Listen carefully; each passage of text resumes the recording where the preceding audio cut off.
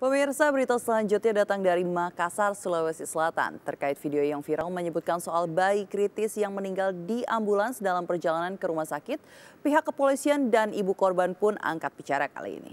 Iya, betul sekali. Polisi membantah tuduhan sopir ambulans yang mengatakan bahwa ia tidak diberi jalan. Sementara ibu korban membenarkan bahwa perjalanan ambulans memang sempat terhambat arus lalu lintas dan akhirnya korban meninggal dalam perjalanan menuju rumah sakit. Dan berikut pemirsa liputannya kami tidak dibukakan jalan. Tidak ada tim eskor. Pasien saya meninggal di atas mobil. Malang benar nasib seorang bayi kritis di kota Makassar, Sulawesi Selatan yang meninggal di ambulans dalam perjalanan menuju rumah sakit. Peristiwa itu terjadi pada minggu malam. Dalam video viral yang direkam oleh sopir ambulans, si sopir menyebut bahwa ia tidak diberi jalan dan tidak mendapat pengawalan sehingga pasien yang dibawanya meninggal di atas ambulans. Terdengar pula suara histeris seorang wanita yang diduga adalah ibu dari bayi berusia tujuh bulan yang meninggal itu. Terakhir, video menyorot ke kursi penumpang. Tampak sejumlah orang yang diduga adalah keluarga korban yang tengah bersedih beberapa waktu kemudian, polisi pun memberi tanggapan atas kasus ini. Terkait dengan video viral yang kemarin terjadi, kalau kita lihat dari videonya itu dikasih jalan oleh masyarakat.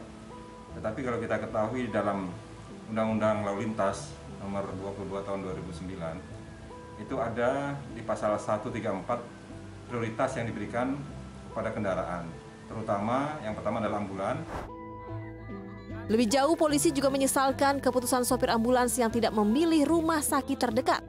Disebutkan bahwa ada beberapa rumah sakit lain yang memiliki jarak lebih dekat dibanding rumah sakit yang menjadi tujuan ambulans. Di tengah adu penjelasan polisi dan keterangan sopir ambulans di video, ibu korban turut buka suara. Ibu korban menyebut bahwa ia tidak bisa membawa bayinya ke rumah sakit terdekat karena keterbatasan biaya dan terkendala masalah administrasi. Tapi saya kan itu terkendala dengan biaya tuh makanya bawa lagi pulang ke rumah. Ke rumah akhirnya saya tanya ibu RT itu bilang bagaimana tes yang ini anakku tuh sudah satu hari di rumah sakit bahagia baru saya bawa pulang.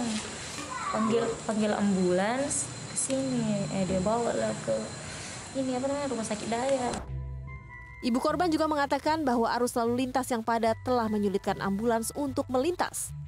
Keluarga korban berharap ke depannya masyarakat lebih memberi jalan bagi ambulans dan meminta aparat untuk memberikan pengawalan kepada ambulans yang membawa pasien kritis.